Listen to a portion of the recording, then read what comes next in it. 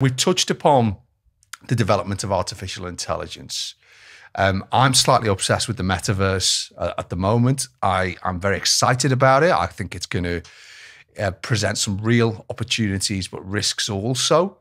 Um, it seems to me that what underpins a lot of the risks, particularly in the future, around how we protect our data, is that identity has become so um, unclear. I don't feel that the social media companies and big tech got this right at the outset. I think it's an unintended consequence of the speed that they moved. We're in a situation where, as the as it stands now, somebody, a criminal, can very uh, um, in a very authentic looking way can clone people's social media accounts, can produce imagery of them, can access personal details, can intervene in, in, in business transactions and, of course, personal transactions like banking. Now, as we move towards artificial intelligence, where it's possible people might have dual identities. It's, you know, in, in, in, the metaverse, we may have a virtual identity, which will be an avatar. And then obviously we have our physical identity in the physical world. What I'm saying there is identity is, if anything, becoming more diverse and more wide ranging. How do you see what, what needs to happen, do you think, to mean that we get this right now to prevent the issue of data crime, cyber cybersecurity breaches getting worse in the future?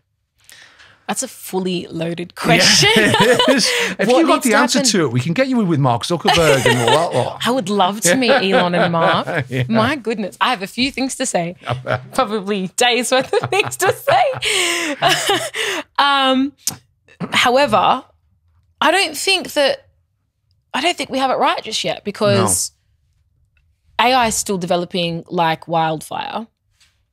Blockchain technology is still being uh, developed. I mean, blockchain technology is quite old, actually. Yes. But it was just the we just got the rush in the last three years purely because of I believe the, the pandemic and everyone was kind of you know researching it a lot then. Yeah. Uh, so I believe that those two uh, types of technologies are still in their infancy. Uh, though when we were when we spoke a few weeks ago, we were talking about the advent of fake and real. Yes. And I think that that's what we're dealing with in society. We are fake and real, and it's not even just like uh, technology and authentication, for instance, or, or when you're trying to you know online your online personality and you've got this other persona offline. You know, you look two different people, like as two different people. For instance, like you said, you've got this avatar, or you're identified by a string of keys because of your blockchain uh, wallet, it, for I, instance. I suppose just things like filters as well. I was just about to say you've you've got all these filters, and you know, on social media, in and you know that's really crazy. That's like kind of you know gone again it's spread like wildfire. Mm. So, how do you? I'm not really sure. I'm not sure how we can. It would be that we would slow it down. Yes. So, I think with that said, it kind of comes into another another area that I that I look into, which I didn't touch on, and that's privacy by design. And that's getting in before the tech's actually developed. That's getting in, you've got your legal teams or your data protection teams or your privacy teams sitting with your info security teams and sitting with your your product engineers, you know, UX, your UI designers, and your actual engineers, your software developers, and you're all in a room, and the, the, the developers say, "Hey, what do you think? How can we do this?" And all together, people apply their critical thinking caps, and they say, "Right, this is what we believe." So again, it's privacy by design. So the whole again, I say privacy by design because privacy is really all about uh, access to, to the data and you know who's who essentially. But that's just the, the term that we that we call it. But it's really just about developing the product in alignment with thinking about these fundamental principles of you know who is who. Yes. Of cybersecurity principles, because they're all we've we've spoken about so many different principles, not just data protection principles, but cybersecurity principles. Okay, so it's really about looking at all of you know both areas and saying, okay, how do we develop de- develop a product that actually can encompass these principles but still be innovative? And you can do it. I've worked with so many clients who do it. So, uh, you were going to say something? All I was going to say is, let's use the Pope in his puppet jacket example.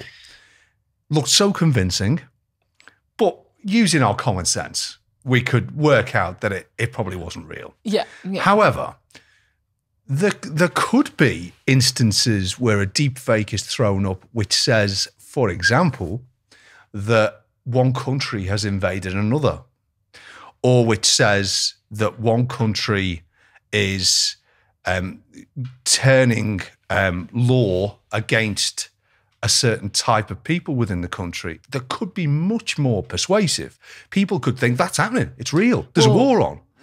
And it Yeah. strikes me that the artificial intelligence is that good that we almost we're in a situation where we, we might need a way in which you know some form of verification of all content that we experience and all data that we receive which we just know is genuine like what what uh, Elon's done with Twitter, with the with the well blue- that's blue an ticks. interesting one i would say that's a great example of it i wonder if it goes far enough it Mm. I don't think it doesn't go far Because you- enough. you- well, you think to yourself, don't you? If if the only gateway is paying, what is it? Seven quid a month? Is it? I think Seventeen it's, quid it's a eight month. dollars, so it's like Eight dollars, seven, seven quid a month. quid, yeah. So you think to yourself, if that's the only barrier to entry, well, with the limitless access that bad actors have throughout the world, they're going to pay seven pound a month, aren't they, for fake profiles that they get the blue tick on? And imagine that, if anything, could get them access to doing even worse things if everyone takes that as a verification of them being real. you you you touched upon another point there about uh, information being spread in the media. Okay, Yeah. and I'm largely a proponent of using your critical thinking to really understand actually did it really happen or didn't didn't happen. Uh, I'm not going to go into other areas that I believe were, you know, made up for for certain parts of of particular companies Yeah. or or uh, industries, for instance, to to appease the the needs and the the pockets of certain individuals and and, and companies. It's not the platform for that, but I will touch on uh, the fact that the best way to control society is to put out you know certain pieces of information and then people start to actually it spreads. And then people start to believe in something that may not necessarily be real. Mm. now going towards the law and and looking at um, deep fakes it's illegal to impersonate someone already.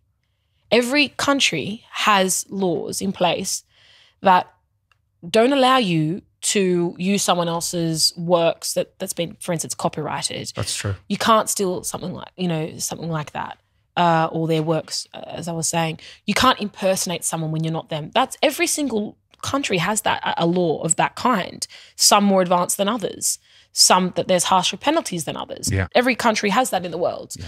so it's a matter of how do we tighten that up Detection and enforcement, isn't it? yeah.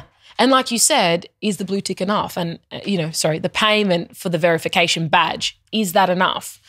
Uh, I think that there are so many different ways, but you really bring up something. I don't think we have the answer yet. I really only- don't. Do you know what? The, I mean, I was thinking about could we have like the equivalent of a digital watermark? You know, when you get a, you know when you get like a twenty quid note or a fifty pound note, and you got your watermark in the note, and that is very difficult or maybe impossible to to to, to fake. I was thinking you could have something like that, but if if that isn't an answer, I think what Elon Musk is looking at in terms of a neurological aspect to do identity verification, I can't think of a better one than that. And that brings to play a whole range of ethical and physical considerations. But I think what we're agreed on, I think what most people would, would agree on, is that in a situation where law firms are being faced not only with the risks prevented by misuse and breaches of data and the legislation now, that really we've got to come together as perhaps as a society, but particularly in terms of big tech, to crack this issue of identity once and for all. Because if we don't, the risks are going to get worse. Absolutely. And I think, again, it's a going back to the, the lawyer who sent the money. Yeah. it's it's an education thing as well. It's a cultural shift. Why do people want to be fake? Why Mm. do people want to get online and bull- bully other people? Why do you want two different personas? For me, that would be so exhausting. Like, Yes. I couldn't think of anything worse than being two different people. Oh, no, Like, imagine terrible. trying to like hold up some identity online and then hold up some identity in, in person. And, and you know, there have been people to, to be found that they've had three identities online or, or one person, you know, or, or they're dressing differently. And uh, so, what I'm to hide their identity, that is, not for other reasons. Uh, so, again, it's also a cultural shift It is. what again it, it comes up with where does it stem from probably tra- trauma What? Well, that's the thing. What's the what's the drivers in the um, quest to be unauthentic? And I yeah. think it seems it seems to me that it's it's it's the um, it's the drive for money. It's the drive for beauty. It's the drive For status? status, absolutely. And you're right to say that tech might provide some of the solutions to those, but it's not the only solutions. It's No. about what we stand for as as as a people. I think. It's are you in your integrity as well I, I and i always start with this point you know you, you're in business to do what so you know going back to the whole overarching reason why we're here is you know on, on this on this podcast is you know we're doing business essentially and you need to protect the data for instance but you need to understand before you even get into anything is what are your values and your your your principles What's your purpose? Exactly. And then it goes into individual purpose, you know? So it's like, okay, if you have that, if you know who you are, if you are being authentic, then do you really feel that you will go and bully someone else or call someone else out online in a negative way? There are so many ways to do certain things. So I, I think that it's uh, education, it's uh, looking, ch- changing of culture, it's privacy by design might be the wrong word, but what I mean is, you know, designing the actual technology to have the principles, you know, data protection, info security, cybersecurity, for instance, interlaced with the way that it's the you know the tech is designed, and then it's looking at how can we verify? Is taking a photo and uploading the photo of your ID, which might be fake, Is that and taking a photo of you know like this is this is this real you know? So is that type of verification? So it's going into all of those areas. I think that we are on the uh the cusp of change though as a society. I think society is really going back to its roots though